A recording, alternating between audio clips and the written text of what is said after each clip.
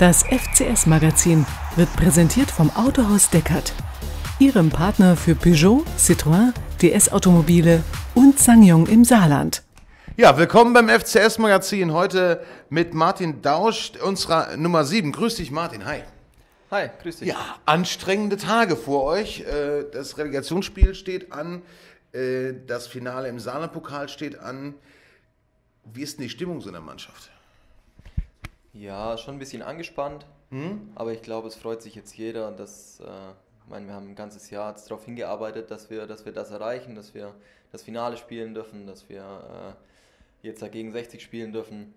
Äh, darum freut sich da jetzt jeder extrem drüber, dass endlich losgeht. Ja, ähm, ist ein bisschen unglücklich. Immer diese Relegationsspiele zeitgleich mit dem Saarland-Pokal eigentlich. Ähm, sollte man da mal was dran ändern oder wie siehst du das? Also es ist ja schon äh, das Saarland-Pokalfinale dann am 21. Dann gehst du drei Tage später in eine Relegation. Die brauchst du ja eigentlich schon mal mindestens für zu regenerieren. Ja, da der, das Thema kam ja schon, da hat der Trainer auch schon ganz viel gesagt. Ähm, ja, also insgesamt kann ich das Ganze auch nicht, nicht nachvollziehen. Es äh, betrifft ja jetzt nicht nur uns. Es, äh, wenn man zwei Reut anguckt, zum Beispiel in Bayern, die müssen das Finale spielen und müssen dann noch die Relegation gegen den Abstieg spielen.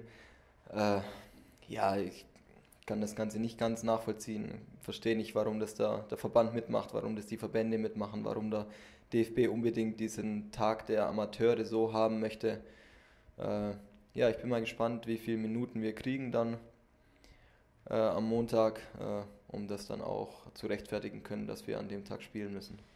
Ja, es ist ja auch so, ähm, man müsste sich als Verband mal überlegen, damit steigt ja auch die Verletzungsgefahr der Spieler und die will ich ja eigentlich schützen. Oder die sollte ich als Verband schützen.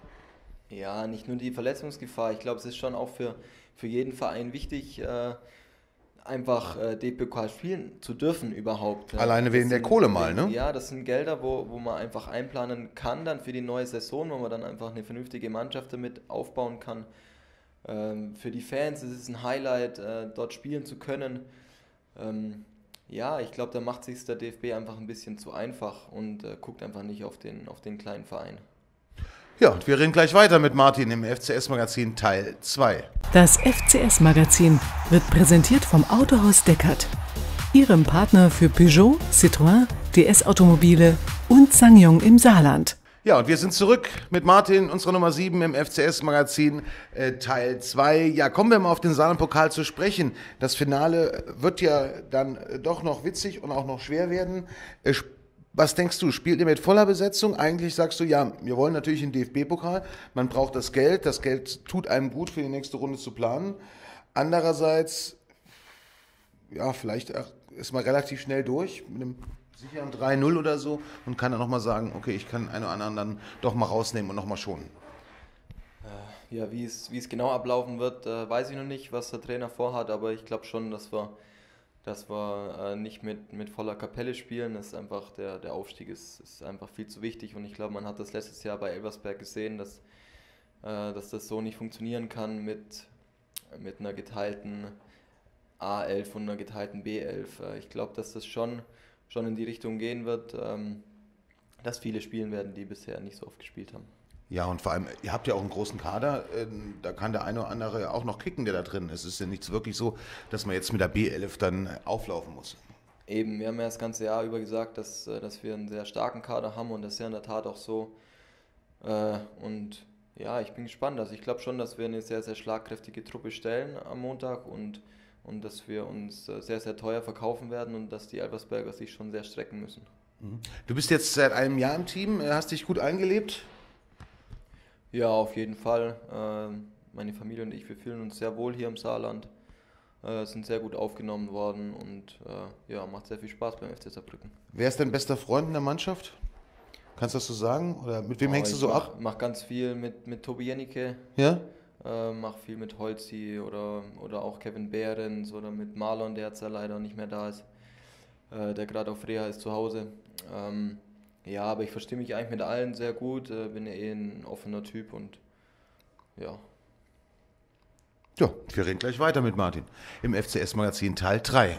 Das FCS-Magazin wird präsentiert vom Autohaus Deckert, Ihrem Partner für Peugeot, Citroën, DS-Automobile und Sangyong im Saarland. Ja, und wir sind zurück beim FCS Magazin Teil 3, heute mit Martin und unserer Nummer äh, 7. Ja, du hast noch Vertrag bis äh, Ende, nein, bis Mitte 2019. Hast du schon an eine Verlängerung gedacht? Kam der Verein schon auf dich zu? Oder wann regelt man sowas? Nee, das ist jetzt noch, noch gar nicht wichtig. Jetzt erstmal wichtig, dass wir, äh, dass wir unsere Ziele erreichen. Ähm, aber grundsätzlich äh, bin ich nichts abgeneigt. Äh, wie, wie, schon gesagt, uns gefällt es sehr, sehr gut hier im Saarland. Haben wir äh, in Tola ein sehr, sehr schönes Haus gefunden. Äh, die, den Kindern gefällt es gut dort im Kindergarten. Also ähm, ja, ich kann mir auch gut vorstellen, hier meine Karriere zu beenden äh, und im FCS erhalten zu bleiben. Äh, bin jetzt schon bei, bei der U13 ein bisschen dabei als Trainer, die übrigens am Mittwoch äh, das Pokalfinale spielt. Ah, kannst du ein bisschen Werbung machen? Wann kann man da hinkommen? Wo wird gespielt? Ja, die spielen am äh, diesem Mittwoch hm? um 18.30 Uhr in Namborn. Äh, und ja, ich war schon ein paar Mal mit dabei. Es ist eine, eine, sehr, sehr gute Truppe, das ist die U13. Und äh, ja, mal gucken, was geht. Also ich hoffe doch, dass, äh, dass sie den Saarland-Pokal nach Hause holen. Ja, also äh, du gehst dann schon Richtung oder planst mal Richtung Trainer auch zu gehen? Ja, auf jeden Fall. Ich bin jetzt, bin jetzt 32. Ich hoffe, mhm. dass ich noch äh, zwei, drei Jahre äh, noch, noch spielen kann. Äh, ich war jetzt schon das Jahr das eine oder andere Mal verletzt. Ich hoffe, dass äh, das jetzt ein bisschen, äh, bisschen genug war jetzt und äh, dass ich ab nächster Saison dann mal ein Jahr durchspielen kann. Ähm, aber trotzdem muss man sich ja schon Gedanken machen, wie es nach der Karriere dann weitergehen kann. Und äh, ja, und da könnte ich mir sowas sehr gut vorstellen. Ja, du hast äh, ja eine sehr gute Saison gespielt schon. Ähm, ist es dann auch so, dass Vereine noch auf einen zukommen, auch wenn man schon 32 ist? Ach, ähm, ja, das macht ja eh alles mein Berater für mich. Da mhm. habe ich bisher noch nie so äh, mir Gedanken gemacht über andere Vereine. Ähm, wenn ich beim Verein spiele, dann, dann bringe ich da 100 Prozent und ähm, hau mich rein für den Verein. Und also ich glaube nicht, dass, äh, dass ich mir da großartige Gedanken drüber machen muss. Also ich hoffe einfach, dass wir, dass, dass wir aufsteigen, dass wir nächstes Jahr äh, dritte Liga hier spielen in Saarbrücken. Nicht nur für mich, sondern auch einfach für, für den Verein, äh, weil ich einfach glaube, dass, dass der Verein das verdient hat, dass das Umfeld sich das verdient hat und dass das schon auch sehr, sehr wichtig ist für, für die Stadt. Ja, und wir reden gleich weiter mit Martin im letzten und vierten Teil beim FCS-Magazin.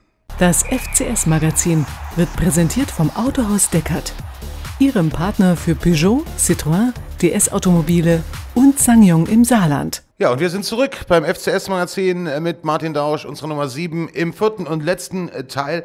Ja, äh, ihr seid ja Meister geworden offiziell. Hat man das schon ein bisschen gefeiert?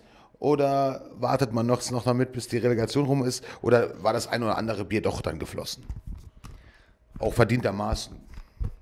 Ja, das ein oder andere Bier ist schon geflossen, aber so richtige Feierstimmung kam nicht auf, was ja auch, äh, denke ich, normal ist. Äh, die Anspannung ist schon groß. Im Endeffekt kann man sich durch diesen Meistertitel nichts kaufen. Ähm, das sind einfach die, die Spiele, die jetzt kommen, viel zu wichtig, als dass man da sich groß, großartig aufs Feiern beschränkt oder ja, im Endeffekt hat Elversberg letztes Jahr auch den Meister geholt und äh, war im Pokalfinale und am Ende hatten sie gar nichts. Das ist ja Gott sei Dank das letzte Jahr so jetzt äh, so chaotisch, ja? Genau. Äh, mhm. Davon gehe ich dieses Jahr nicht aus. Ich glaube, dass wir eine bessere Mannschaft haben als die Elversberger letztes Jahr und, und dass, wir, dass wir dieses Jahr definitiv das Ganze positiv gestalten werden. Ja, was macht Martin Dausch nach den Relegationsspielen? erstmal feiern. Ähm, Geht es dann auf Mannschaftsfahrt, ja, wenn alles gut geht? Dann werden wir gemeinsam nach, nach Mallorca fliegen und werden da das Ganze Die Sau rauslassen. ordentlich begießen. ja, und anschließend ist dann schon äh, Familienurlaub geplant, werden zwei Wochen, eine Woche am Gardasee sein und eine Woche äh, an der Adriaküste und da ein bisschen die Seele baumeln lassen. Tja, dann sage ich mal vielen Dank für deinen Besuch im Studio, wünsche viel Glück äh, für das äh, Saarland-Pokalspiele und natürlich noch mehr Glück, was mir im Herzen liegt, und der Aufstieg in die dritte Liga. Und äh, es wird schon alles irgendwie schief gehen. Vielen Dank für deinen Besuch, Martin. Dankeschön. Ich möchte mich auch noch ganz kurz an unsere Fans vom FCS richten. Äh, ich freue mich schon auf die nächsten drei Spiele, freue mich auf eure Unterstützung. Äh, kommt alle zahlreich, äh, unterstützt uns, schreit so laut ihr könnt und peitscht uns nach vorne. Dankeschön. Tschüss. Ciao. Das FCS-Magazin wird präsentiert vom Autohaus Deckert, Ihrem Partner für Peugeot, Citroën, DS Automobile und Sangyong im Saarland.